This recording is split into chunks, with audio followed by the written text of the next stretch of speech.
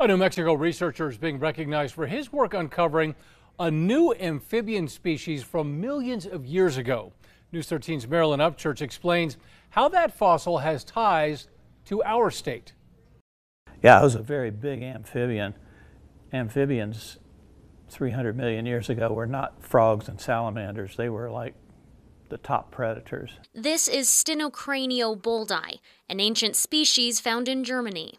It was alive 300 million years ago, which is right at the Pennsylvanian Permian boundary, or the, the time periods. Larry Rinehart, a research associate at the New Mexico Museum of Natural History and Science, worked with researchers in Germany on the discovery and recently published work on the amphibian.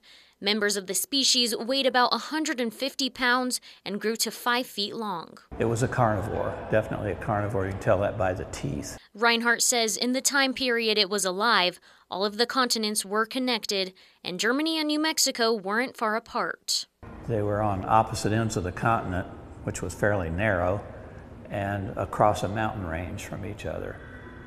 And the um, the animals were similar. This is the Eryops found in New Mexico. It's considered to be a close relative of the species found in Germany.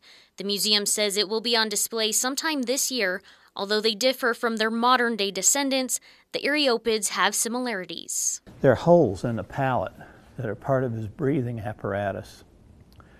And today, frogs, if you watch a frog breathe, you see this little flutter under his chin. These guys had the same kind of breathing apparatus.